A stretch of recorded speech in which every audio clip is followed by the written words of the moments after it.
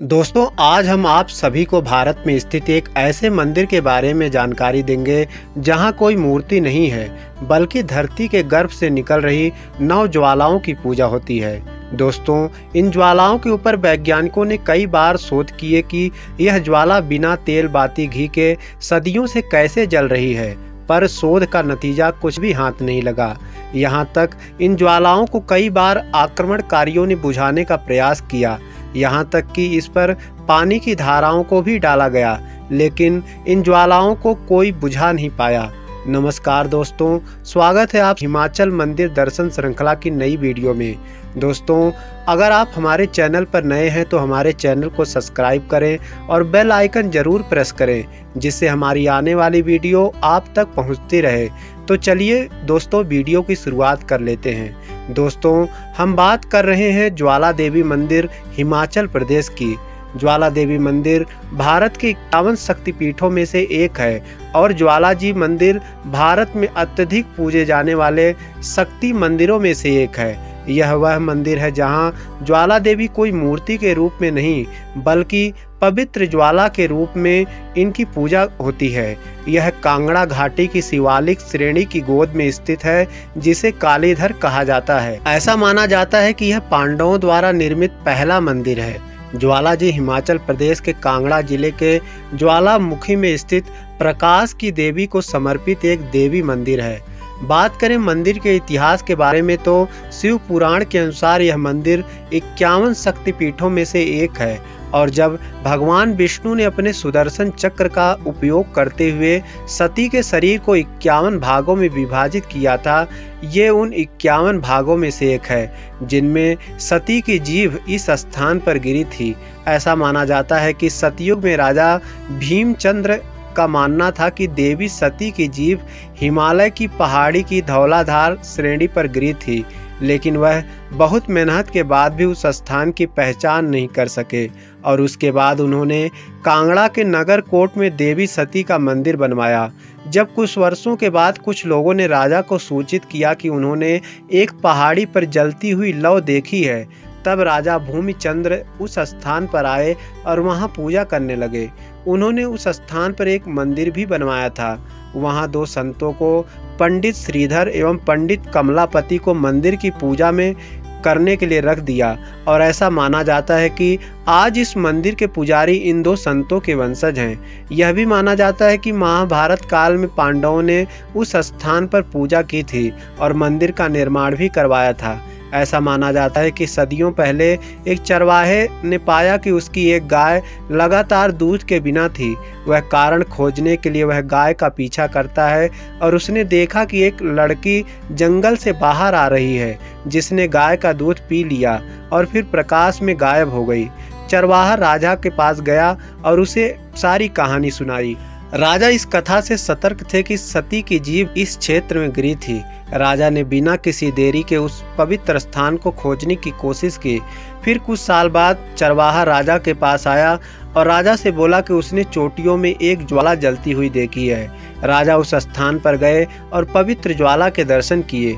उन्होंने वहाँ एक मंदिर बनवाया और पुजारियों के लिए नियमित पूजा में शामिल होने की व्यवस्था की। ऐसा माना जाता है कि पांडवों ने बाद में आकर इस मंदिर का पुनर्निर्माण किया। राजा भूमिचंद्र ने सबसे पहले मंदिर का निर्माण करवाया था। इस मंदिर से मुगल आक्रमणकारी अकबर की एक कहानी भी जुड़ी है। कहा जाता है कि अकबर ने मंदिर में जलती ज्वाला को बुझाने का बहुत प्रयास किया। जिसमें अकबर ने एक बार ज्योति पर लोहे की मोटी परत से लेप करके और यहाँ तक कि उसने पूरी एक पानी की नहर खुदवा दिया था ज्वाला को बुझाने के लिए। लेकिन आग की लपटों ने इन सभी प्रयासों को आग लगा दी। अकबर ने तब मंदिर पर एक सुनहरा छत्र भेंट किया। हालाँकि देवी माता ने उसकी भेंट स्वीकार नहीं किया और उस सोने के छत्र को एक ऐसे धातु में बदल दिया जो अभी भी दुनिया के लिए अज्ञात है। उसके बाद जब अंग्रेज़ी हुकूमत आई उन लोगों ने भी बहुत कुप्रयास किए ज्वाला को बुझाने की, लेकिन उन्हें भी सफलता हाथ नहीं लगी। दोस्तों, आज अपनी आध्यात्मिक और भौतिक इच्छा को पूरी करने के लिए हज़ारों तीर्थयात्री साल भर इस मंदिर में आते हैं। दोस्तों, ज्वाला देवी मंदिर में सदियों से नौ ज्वाला प्राकृतिक रूप से जल रही हैं। इन्हें जलाने के लिए किसी तेल या बाती का इस्तेमाल नहीं किया गया है। ज्वाला देवी में एक और चमत्कार देखने को मिलता है, जो मंदिर के पास एक गोरख डिब्बी है और यहाँ एक कुंड में पानी उबलता हुआ नज़र आता है। लेकिन जब आप इसमें हाथ बोएँगे तो आपको ठंडक का एहसास होगा। दोस्तों ज्वाला देवी मंदिर में देवी की आध्यात्मिक लौ को नौ विभिन्न तरीकों से देखा जा सकता है। आग की लपटें कभी कभी कम या ज़्यादा होती रहती हैं। ऐसा माना जाता है कि नौ दुर्गा चौदह भुवनों की निर्माता हैं, जिनके सेवक सतवां रजस और तमस गुण हैं। यह ब्रह्म ज्वाला है और भक्ति और मुक्ति की दाता है। चांदी के गलियारे में जलने वाली प्राथमिक लव भक्ति और मुक्ति की प्रदाता महाकाली है। पहली लव के बगल में महामाया अन्नपूर्णा ज्योति है और दूसरी ओर विरोधियों का संहार करने वाली चंडी देवी की ज्वाला है।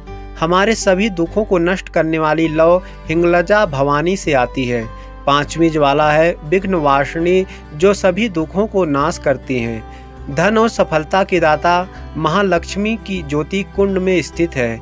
ज्ञान की दाता देवी सरस्वती भी कुंड में विद्यमान है। बच्चों की दाता देवी अंबिका को भी यहाँ देखा जा सकता है। देवी अंजना, आयु और सभी सुखों की दाता भी इस कुंड में मौजूद है।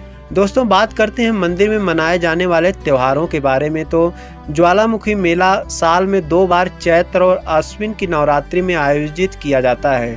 भक्त ज्वाला कुंड के चक्कर लगाते हैं, जिसमें आध्यात्मिक अग्नि जलती है। गोरखपंथी नाथों का केंद्र गोरख डिब्बी है। लोक नृत्य, धुन नाटक खेल कूद मेले के कुछ महत्वपूर्ण पर्यटक आकर्षण हैं। कांगड़ा में ज्वालामुखी मंदिर विशाल मेले का स्थान बन जाता है। अब बात करें मंदिर की आर्किटेक्चर की तो मंदिर की संरचना सोने के गुंबद के साथ आधुनिक है और इसमें चांदी की प्लेटों का एक आश्चर्यजनक दरवाज़ा है।